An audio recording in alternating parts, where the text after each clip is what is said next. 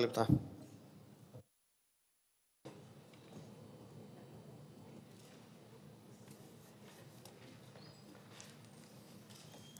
Ευχαριστώ κύριε Πρόεδρε. Κυρίες και κύριοι συνάδελφοι, η επικοινωνιακή στρατηγική της κλειδαρότρυπας και της τυμβορυχίας που υιοθετεί εσχάτως η Νέα Δημοκρατία καταδεικνύει περίτρανα τη συντριπτική της ήττα στο πεδίο των θέσεων, των επιχειρημάτων και των προγραμμάτων.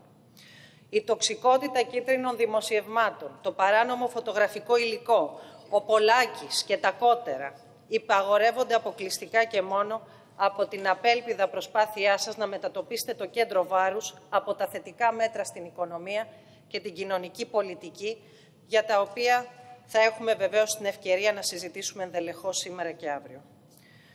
Την ηθικολογία και τα κροκοδίλια δάκρυα, τις όψιμες ψευδοευαισθησίες σας για τα δικαιώματα που πλιστάκεις οι θειασότες του νόμου και της τάξης της άμετρης καταστολής, του και καλυμμένου ή καταφανούς ρατσισμού έχουν περιφρονήσει και καταστρατηγήσει, διαψεύδουν οι αιμονές και οι ιδεολειψίες σας, που σας εκθέτουν. Η 13η σύνταξη ως λαϊκισμός, το αχρίαστο δώρο των Χριστουγέννων, το κοινωνικό κράτος ως χάρη προνόμιο, το παροχημένο οκτάωρο, η ύμνη για την ευέλικτη εργασία και το μένος του εκλεκτού σας και πιστού σας συμμάχου κυρίου Βέμπερ κατά μιας ευρωπαϊκής ασφάλισης στους ανέργους. Κυρίες και κύριοι συνάδελφοι της αξιωματικής αντιπολίτευσης, εμφανίζεστε έμπλεοι ευαισθησίας για τα δίκαια αιτήματα του αναπηρικού κινήματος, όταν οι δικές σας κυβερνήσεις το είχαν πλήξει ποικιλοτρόπως. Όλοι θυμούνται την ταλαιπωρία που υπέστησαν τα άτομα με αναπηρία από τις ελλείψεις σπάνιων φαρμάκων την περίοδο διακυβέρνησης Σαμαρά. Όλοι θυμούνται πόσο βυθίστηκαν τα επιδόματα αναπηρίας. Όλοι θυμούνται την ταλαιπωρία στην οποία υποβάλλονταν τα άτομα με αναπηρία στις επιτροπές πιστοποίησης αναπηρίας. Όλοι θυμούνται τις τραγικές ελλείψεις στα ειδικά σχολεία όπου η Ρίστο Εμπαρόδο αυτή η κυβέρνηση θεραπεύει μεταξύ άλλων με 4.500 προσλήψεις στην ειδική αγωγή. Εκτός αν και αυτές τις θεωρείται παροχολογία και μποναμά. Όλοι θυμούνται ότι επί Σαμαρά το Διεθνές Νομισματικό Ταμείο απαιτούσε να δίδονται τα επιδόματα αναπηρίας με εισοδηματικά κριτήρια και να αξιολογείται εκτός από την αναπηρία και η ικανότητα για εργασία. Αν παραδείγματος χάρη ένα άτομο με ψυχική αναπηρία κρινόταν κατάλληλο για χειρονακτική εργασία, θα έχανε το επίδομά του. Όλοι όμως θυμούνται ότι αυτή η κυβέρνηση ψήφισε το νόμο 4488 του 17 που ενσωματώνει στο ελληνικό δίκαιο τη Διεθνή Σύμβαση του ΟΗΕ και το προαιρετικό πρωτόκολλο για τα δικαιώματα των ατόμων με αναπηρία. Ποιος άραγε θέσπισε το νόμο 4440 του 2016 που προβλέπει ποσοστό προσλήψεων 15% μέσω ΑΣΕΠ στο δημόσιο και στον ευρύτερο δημόσιο τομέα για τα άτομα με αναπηρία; Ποια κυβέρνηση άραγε αναβάθμισε την πολύπαθη ειδική αγωγή και εκπαίδευση με γνώμονα τον ενταξιακό προσανατολισμό; Ποιοι διασφάλισαν την καθολική και ισότιμη πρόσβαση όχι μόνο των ανασφάλιστων αλλά και των ΑΜΕΑ στο δημόσιο σύστημα υγείας; Ηθικολογικά κηρύγματα από διαπρίσιους κήρυκες της φυσικής ανισότητας των ανθρώπων, από εσάς που δεν τρέφετε αυταπάτες για μια κοινωνία χωρίς ανισότητες, ε, δεν γίνονται αποδεκτά. Αν για σας τα δικαιώματα δίδονται επιλεκτικά και ιεραρχούνται, αν για σας τα δικαιώματα εξισώνονται με τη φιλανθρωπία των ψίχουλων που περίσεψαν από το μεγάλο φαγοπότη, για την αριστερά τα δικαιώματα προσυδειάζουν στον άνθρωπο περσέ, ανεξαρτήτως επιμέρους κατηγορημάτων. Κίνται στον πυρήνα της ιδεολογίας μας και μετουσιώθηκαν σε νόμους του κράτους διότι έπρεπε να υπάρξει αριστερή κυβέρνηση σε αυτόν τον τόπο για να αποδοθεί το δικαίωμα της ηθαγένειας σε παιδιά μεταναστών, για να μεταβεί από το μεσαίωνα στη νεωτερικότητα το σοφρονιστικό σύστημα, για να αποκτήσουν δικαιώματα τα ομόφυλα ζευγάρια, για να κατοχυρωθεί το δικαίωμα αυτοπροσδιορισμού προς την ταυτότητα φύλου, για να κυρωθεί η σύμβαση της Κωνσταντινούπολης για την έμφυλη βία και τη μετανεωτερική δουλεία που ακούει στο όνομα τράφικινγκ. Υπερψηφίσατε κάποια από αυτά; Εσείς οι επαΐοντες της ηθικολογίας και οι λεπτογεύστες του κοινοβουλευτικού λόγου και βίου που θίγεστε από το τσιγάρο του Υπουργού και το πούρο του Πρωθυπουργού.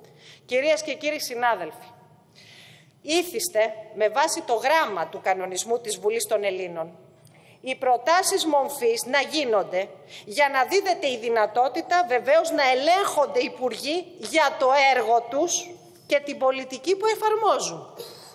Παραδείγματος χάρη, να ελέγχονται αν οι υπουργικοί θόκοι εκφυλίζονται σε θύλακες διαφθοράς και μαύρου χρήματος, αν με μια νυχτή, ε, μια νυχτή εκποιούν νοσοκομεία σε ιδιώτες, αν με πράξεις και αποφάσεις τους υπογράφουν ευνοϊκές για εταιρείες αποφάσεις τιμολόγησης φαρμάκων, αν κατεδαφίζουν τη δημόσια υγεία μετακυλίοντας το κόστος στον πολίτη, απολύοντας χιλιάδες γιατρούς του δημόσιου συστήματος υγείας. Ξέρετε, 23 δισεκατομμύρια υπολογίστηκε το μαύρο χρήμα στην υγεία του τεστ είναι ένα μνημόνιο. Δεν γνωρίζω αν προτάσεις μομφής γίνονται γιατί νομοθετήθηκε η καθολική πρόσβαση όλων των ανασφάλιστων στο δημόσιο σύστημα υγείας ή, για το ερίκο, ή γιατί το ερίκος Δινάν επεστράφει στο εσύ και στους πολίτες, στους πολλούς ή γιατί επιτέλους καταργήθηκε το επέσχυντο 5 ευρώ όπως καταργήθηκε και ο επέσχυντος υποκατώτατος μισθός. Κυρίες και κύριοι βουλευτές, στην τοξική αμετροέπεια, στην ηθικολογία της κλειδαρότρυπας και του κουτσομπολιού, στον εκφυλισμό του δημόσιου λόγου σε παραπολιτική ατάκα, εμείς απαντούμε με πεπραγμένα που εμπεδώνουν τη δημοκρατία και με βάση αυτά ζητούμε την ψήφο εμπιστοσύνης. Οδοδείκτες δημοκρατίας είναι τα δικαιώματα, απαρέγκλητη προϋπόθεση της δημοκρατίας η φωνή στα βουβά πρόσωπα της κοινωνίας, το φως τους αόρατους και ιτημένους της ιστορίας. Δημοκρατία, ωστόσο, είναι και η κοινωνική δικαιοσύνη. Ανάπτυξη και αύξηση του εθνικού πλούτου που εξαϊλώσατε, χωρίς δίκαιη κατανομή του, αναπαράγει τις ανισότητες που φαίνεται βεβαίως να προσυπογράφεται και ανοίγει τον ασκό του αιώλου σε νεοφασιστικά μορφώματα.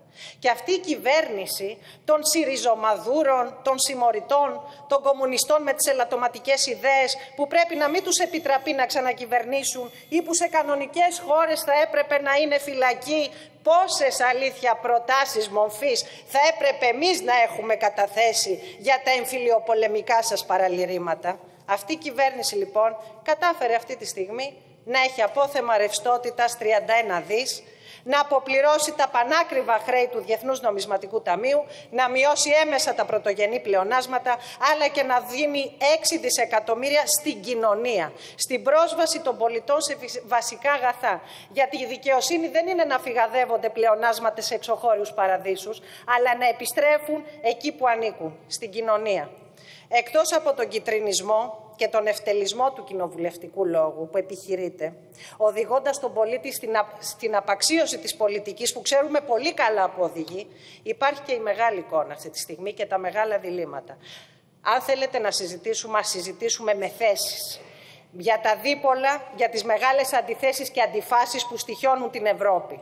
Σήμερα είναι η επέτειος του τέλους του Παγκοσμίου Πολέμου και της ήττας του ναζισμού.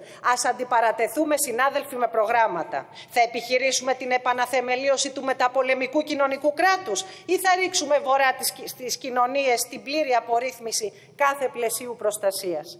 Οι εκλεκτικές πλέον συγγένειες νεοφιλελευθερισμού και ακροδεξιάς είναι πασίδηλες. Στα προγράμματα των Chicago Boys του Πινοτσέτ, στις επεφημίες σας για πραξικοπήματα και όχι ελεύθερες εκλογές στη χώρα του Μαδούρο, στους όρκους πίστης σας στο Διεθνές Νομισματικό Ταμείο και στις περικοπές των συντάξεων, αντιτάξαμε την πολιτική που θα ξαναδίνει εργασία και αξιοπρέπεια στους πολλούς. Στα παραπάνω όμως δυστυχώς προσθέτεται πλέον και ένα λόγο κίτρινο και ρηπαρό, άξεστο και μνησίκακο. Το μόνο που καταφέρνει η Νέα Δημοκρατία δυστυχώς είναι να ανατροφοδοτεί το μίσος για τη δημοκρατία. Σας ευχαριστώ.